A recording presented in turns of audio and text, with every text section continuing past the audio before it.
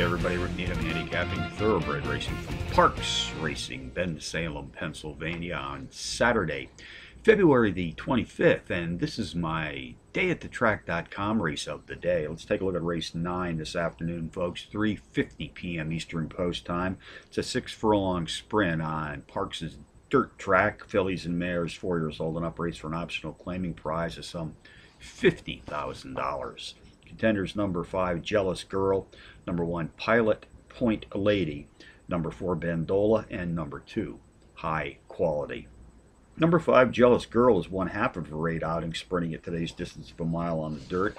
Excellent early speed abilities to complement for this sprint has produced a quartet of power runs in her last five starts, hitting the board in three of those adventures, including back-to-back -back power run wins in her fourth and fifth races back. Jockey Frankie Pennington and trainer Anthony Dutrow sent her poster this afternoon. They fit the board with an impressive 72% of nearly 100 entries saddled as a team to date.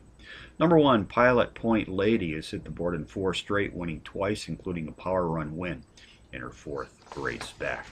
Race 9 summary, number 5, Jealous Girl, tops my contenders list this afternoon, which also includes number 1, Pilot Point Lady, number 4, Bandola, and number 2, High Quality. That's 5142 in the ninth from Parx Racing. Bonus long shot, staying right here at Parx, race 8, number 1, Rapala. 10 to 1 bomb qualifies as a Trackmaster Plus Power Pony has hit the board in power run fashion in four of his last five, including a power run win in his second race back. Charles Town tonight, race five, number three, a Bridal Tiger. Five to one in the morning line is the speed leader in this claiming field, sprinting at or about four and a half furlongs on the dirt.